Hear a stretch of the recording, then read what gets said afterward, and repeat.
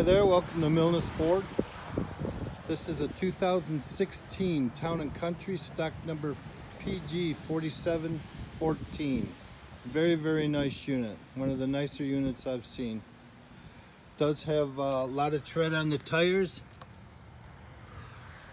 I don't see any dents. There is one small scratch I'll show you. Uh, very, very clean unit. Does have a uh, fantastic color combination.